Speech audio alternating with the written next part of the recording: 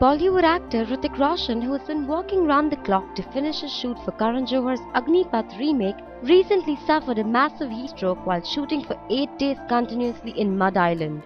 The actor was last seen as a judge on the show Just Dance. After wrapping up the show, Hrithik, who has been shooting for the Karan Johar production in the torrid heat of Madh Island, suffered a major heat stroke. It is believed that Hrithik Roshan has been rather overworked. After shooting non-stop for 72 hours for the finale of Just Dance, he just took only one day off and then he started shooting for Agneepath for 8 days continuously. Since he was filming for the climax portions of the film, Hrithik had to shoot a lot in the heat. That's how he ended up with a heat stroke.